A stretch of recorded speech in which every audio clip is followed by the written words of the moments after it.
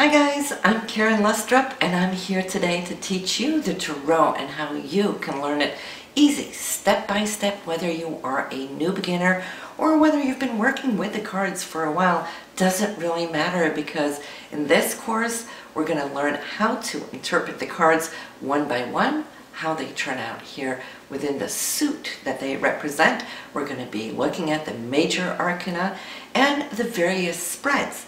Now, I've been working with the Tarot since mid 1975 and onwards, and so a lot of years here of insights that I am dying to share with you.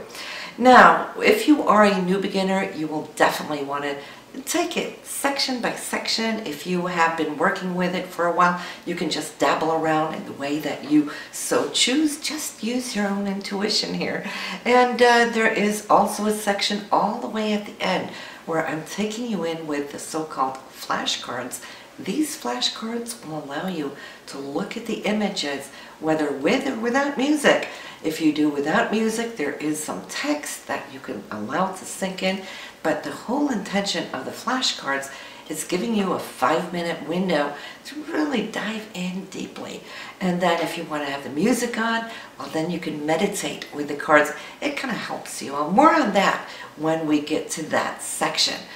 But listen, we're going to look at the spreads, how to do easy yes and no spreads, three card spreads, nine card spreads, uh, the generic Celtic cross, but also my own personal secret, and that will be how to do the advanced Celtic cross.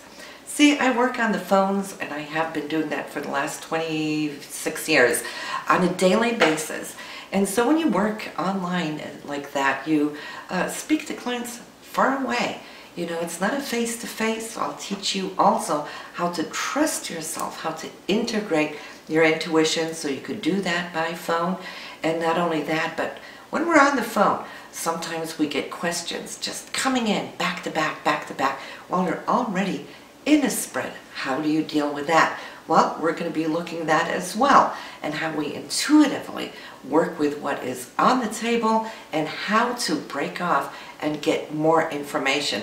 So the course is for those of you who are new, for those of you who've been working with the cards, but then also for those of you who are more advanced students of the Tarot.